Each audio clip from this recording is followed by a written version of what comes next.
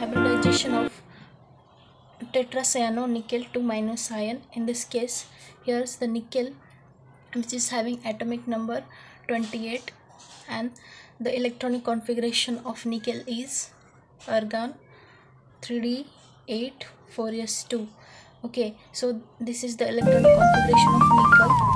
And so we can write here in uh, where nickel goes in exci- excited state. So the electronic uh, configuration will become 3d10 3d10 and now in this case nickel is a metal. But here in this cyanide is cyanide is the electron withdrawing species. Electron withdrawing actually the uh, electronic configuration is 3d8 and 4s2 uh, while we are doing the hybridization we can write here the 3d 3d box which having five orbitals one one two three four five and three D के बाद आता है four years here is the 3d orbital here is 4s and this is p orbitals which is having 3 orbital that is 4p here and the electrons are given that is 8 electron 4s made 2 electron here 1 2 3 4 5 6 7 8 here are 8 electrons that is 6 plus 2 8 electron and here in this case 4s2 में दो electron है where uh, nickel in in the ground state but where nickel in the excited state here will be the pairing of this electron will take place. Here 1 2 3 4 5 6 6 electron 7 and 8 electrons. Here and this is 4s this is 4p uh, orbitals.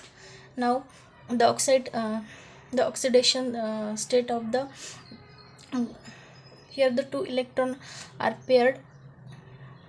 First of all calculate the oxidation state oxidation state. Here the uh, nickel that is we can consider as x cyanide 4 that is that is 4 minus. So this is x minus 4 is equals to here is minus 2 after the calculation we get the plus 2 oxidation state. So nickel has plus 2 oxidation state.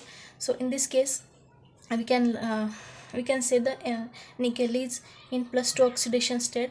Uh, where uh, when it is in plus 2 oxidation state this um, this plus 2 charge and this 4 is uh, 2 ele- electrons this will get cancel out so that the nickel in plus 2 oxidation state the hybridization will be like 4 and the uh, दो electron और ये निकल के electron two plus charge and this two electron will cancel out the in the oxidation state and the for forest electron के भी सो in this case what will happen here the 4s 4s will be empty and 4p is already empty.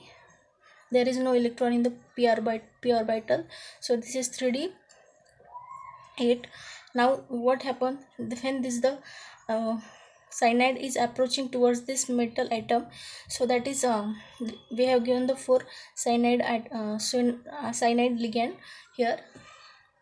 This uh, cyanide ligand how this is attacked?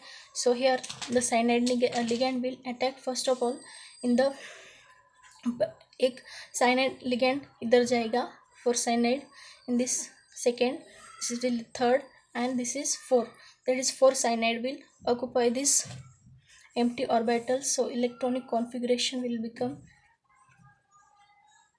8 here the 8 electron and this is the orbitals which was occupied by cyanide. So we can denoted by these symbols.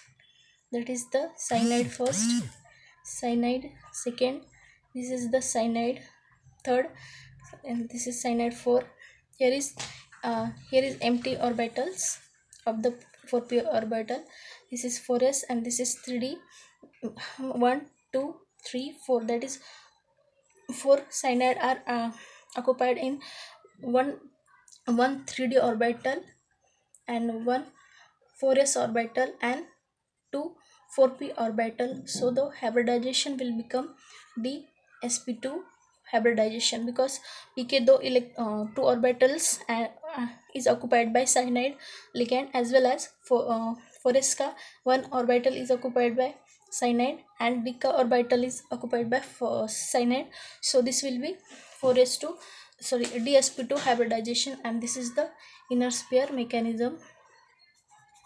Inner sphere inner sphere mechanism. Why? Because the uh, 3d internally the 3d is uh, used in the inner sphere uh, mechanism.